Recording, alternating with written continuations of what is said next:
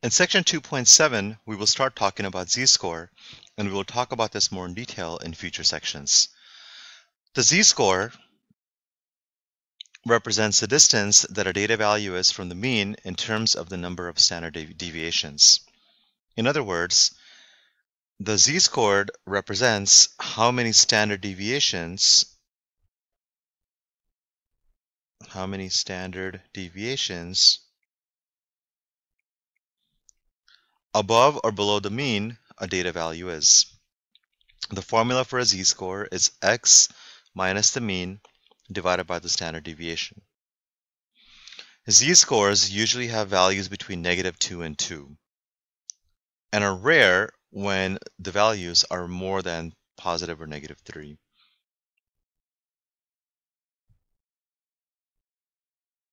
Okay, so let's uh, find and interpret the z-score for the following um, for the following data. We have a population mean mu equals to 3 and a standard deviation sigma equals to 2. Well, before we even apply the formula, let's let's see what's going on. Okay, so I'm going to draw a symmetric unimodal distribution and we're told that our mean mu is equal to 3. Okay, so here's what a standard deviation sigma equal to 2 means. It means that if you start at the mean 3, one standard deviation is going to be 2. So if we start at the mean and we go one standard deviation, then our data value would be 5. Okay, another again, our standard deviation is 2. So if we go two standard deviations, we will have 7. So the value 5 is one standard deviation away from the mean. The data value of 7 is two standard deviations away from the mean. Remember, one standard deviation is equivalent to 2. So from 3 to 5, this is one standard deviation. From 5 to 7, this is two standard deviations. If you go the other way, Remember our standard deviation is 2.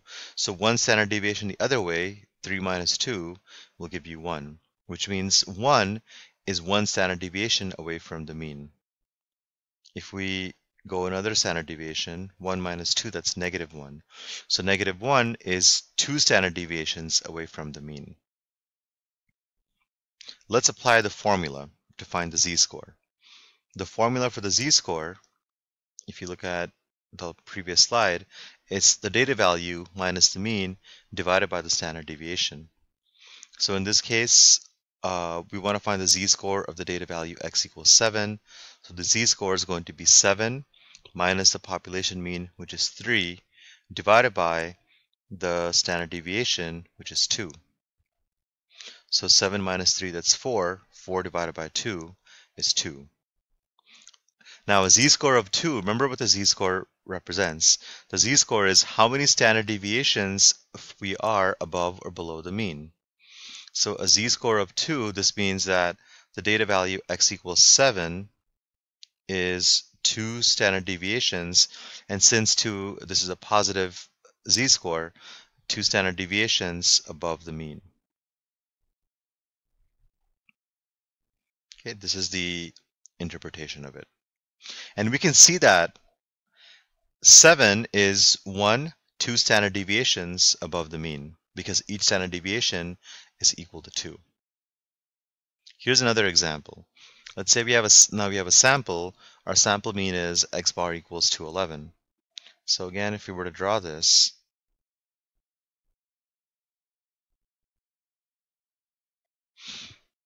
our sample mean is going to be 11 standard deviation once again is 2, which means one standard deviation, which is 2, will put us at 13 because remember s equals 2.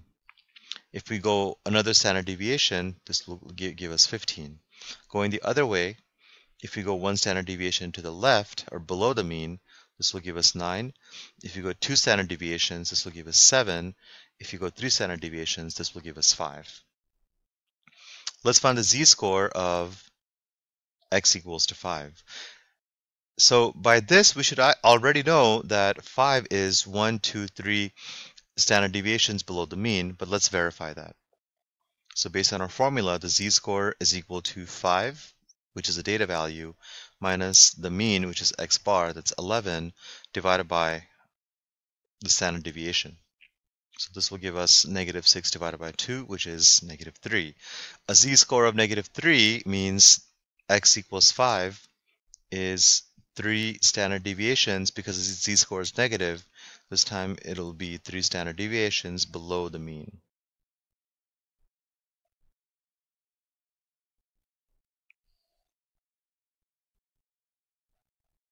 So the z-score tells us how many standard deviations away from the mean, either above or below, a data value is. When a distribution is what we call normal, then 95% of the values are within two standard deviations. So it's either two standard deviations above or two standard deviations below the mean. Okay, in a normal distribution, most of the values, 95% of the values, fall within two standard deviations of the mean. This gives us this nice range of values which we would consider ordinary or usual.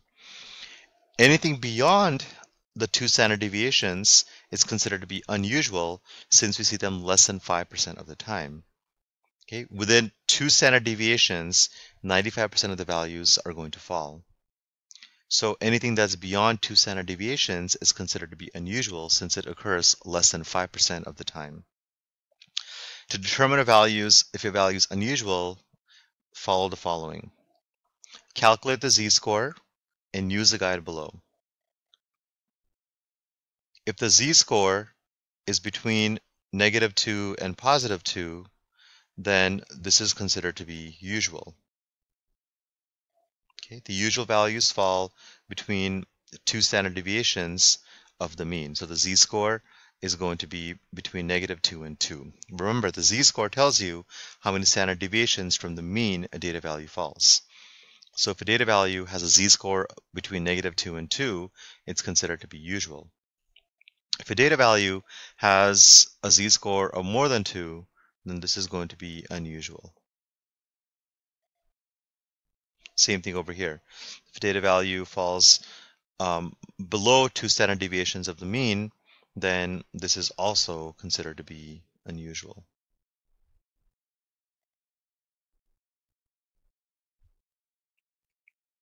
Here's an example. A man measured his pulse rate to be 48 beats per minute. Is that pulse rate unusual if the man, uh, if the adult male pulse rate is 63.7 beats per minute with a standard deviation of 10.3. So let's think about this. Okay, anytime you want to determine if a data value is unusual, we have to first calculate the z-score and it's considered unusual if the z-score is more than plus or minus 2. well, I should say, sorry, I should say more than 2 or less than negative 2. Okay, so let's first calculate the z-score. The z-score is given by the data value. Always start with the data value. The data value is 48 beats per minute minus the mean, which is 67.3, divided by the standard deviation, which is 10.3, and this will give us the z-score. Okay, so if you calculate this, the z-score is going to be negative 1.87. Here's what this tells us. Okay, if we were to see this on a graph, the, the mean for males is 67.3 beats per minute. The, our, our subject, his heartbeat is 48 beats per minute, which is somewhere over here. Now, is that unusual? Well, the z-score for 48 is negative 1.87. Remember, if the z-score is between negative 2 and positive 2, then these values are, are considered to be usual. So the z-score of negative 1.87, since it's within two standard deviations, it is not unusual. Okay, this is not unusual since the z-score is within plus or minus 2, which means 48 beats per minute is within two standard deviations of the mean. So therefore, it's considered to be not unusual. Unusual would be if uh, the z-score was more than 2 or less than negative 2. Here's another example. On Brian's first calculus test, he scored 48 out of 100. The class average was 63.7 with a standard deviation of 7.2. Although Brian clearly scored below average, since the average was 63.7, he figures he will not drop the class unless his score is unusually low. How do you determine if a score is unusual? Calculate a z-score. So the z-score is Brian's score, which is 48, minus the mean, which is 63.7, divided by the standard deviation, which is 7.2. If you calculate this, this will give you negative 2.18. Now, negative 2.18, this z-score is, is considered to be unusual because it's not within two standard deviations. So Brian's score is unusually low. his score is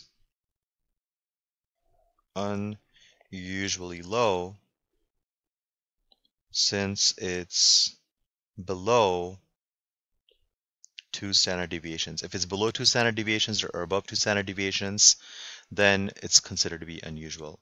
So since his score is unusually low, he should probably drop the class. Please do the following example. We're given a GPA uh, of, a, of a student, this means school mean GPA and a standard deviation for, for two different students. Uh, figure out which student had the highest GPA when compared to his or her school.